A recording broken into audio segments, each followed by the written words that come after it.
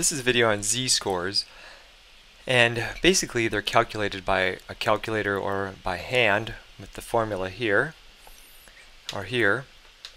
However, we can also use StatCrunch to kind of get the z-score. But when we start calculating, you know, um, higher data and, and probabilities, we're basically using StatCrunch to bypass the z-score and just calculate the probability right in StatCrunch.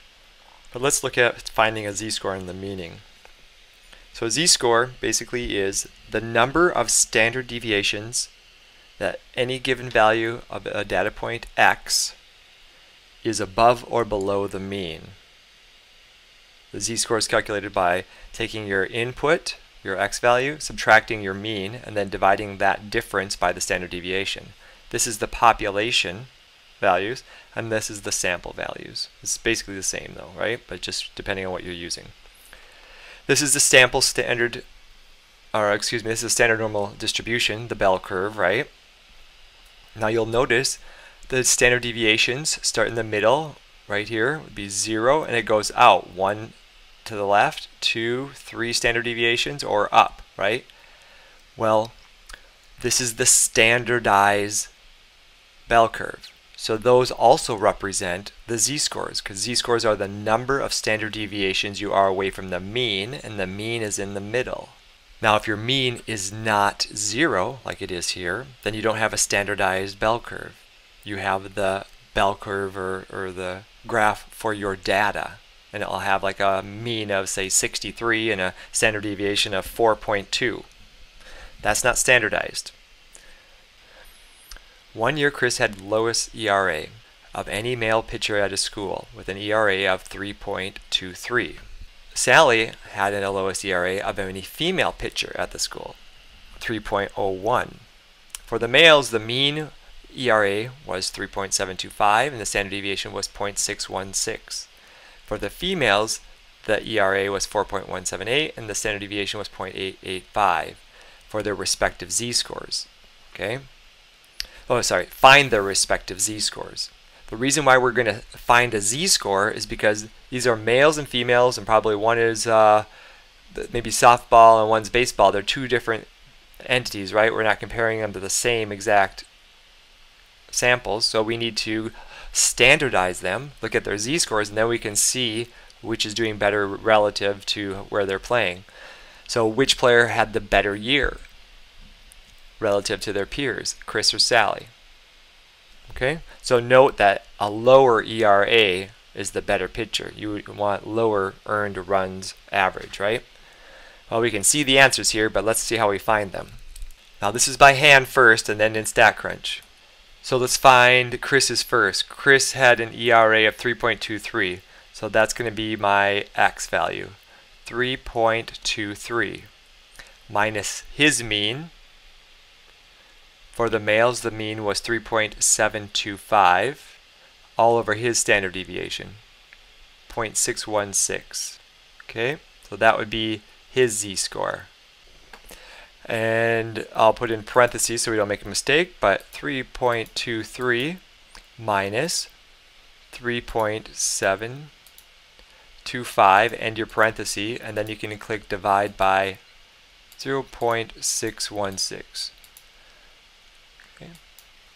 0.8036 round up. And they just want it to one to one decimal place, so I can put negative point eight. That's his standard deviations away from the mean. That's his z-score now, because we standardized it. Now we're here, just negative 0.8. We're right in this area, right about there. Okay.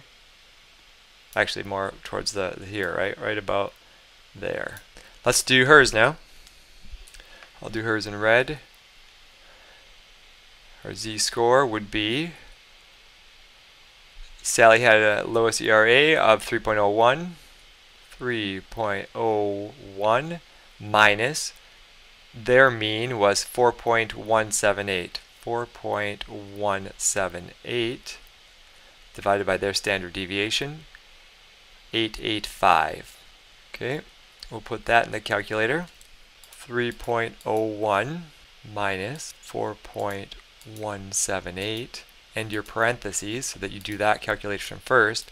Then you divide by the 0.885 now that z-score for her is negative 1.319 round off to 8 so they only wanted to round it off to the 10 so negative 1.3 and negative 1.3 would be negative 1.1, 2, 3, right in the middle, basically right there.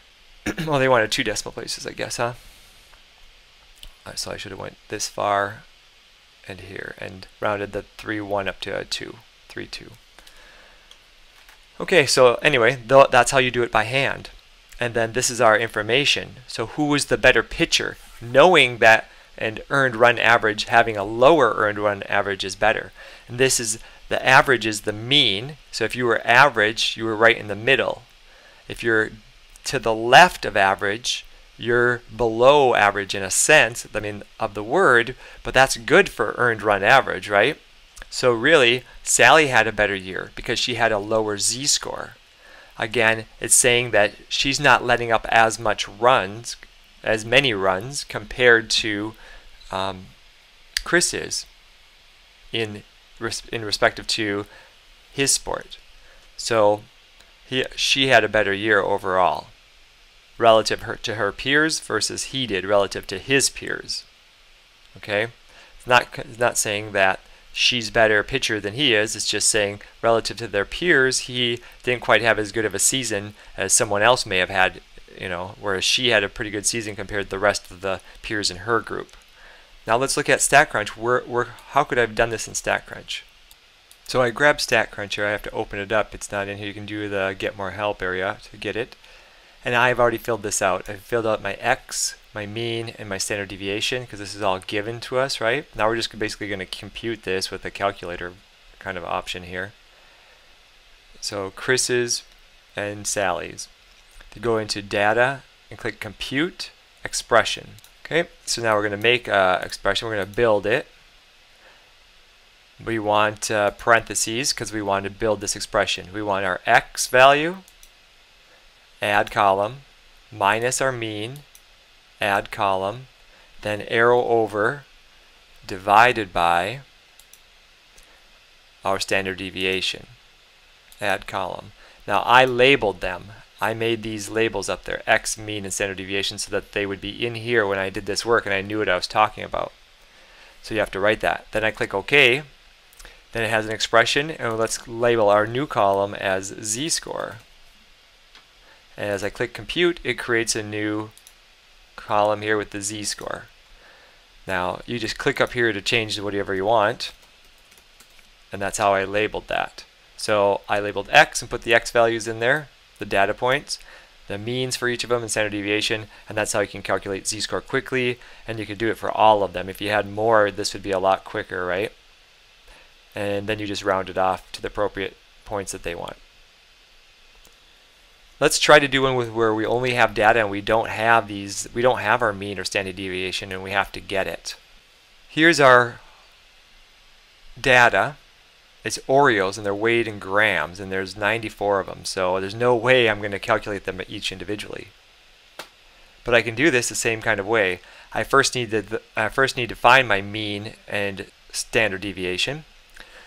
And since this isn't all the Oreos there are in the world I'll just use the sample stuff that they have sample standard deviation and sample mean. So there's the mean and then the the standard deviation will be right in there. Once I select the Oreo there I can just click compute because I have both mean and standard deviation in my list. Alright, here's the mean and standard deviation. Now I need to keep those numbers because I need to put them into a formula for each of the to ca to calculate each of these. So let's kind of keep that over here and now go to data compute expression pull it up here we're going to do the same kind of idea build now, the Oreo weight is the x value, but let's get some parentheses first, and then add it.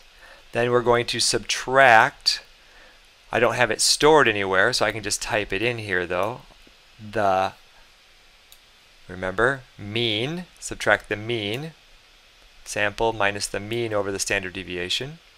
So we go to our mean and I type it in. I'll type in as much as I can. Then I will end the right click out of there. x minus the mean divided by the standard deviation, which we have written down here as 0.17199,317. And I click OK. This is going to be the z-score